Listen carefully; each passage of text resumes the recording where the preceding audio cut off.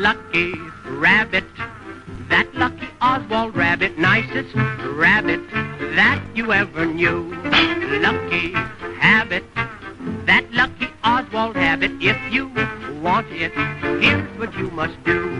Reading, writing, arithmetic may often make you awful sick, but if you learn your lessons quicker, quicker you'll be through. Don't be scrappy, but smile and do things snappy. Make folks happy, lucky too.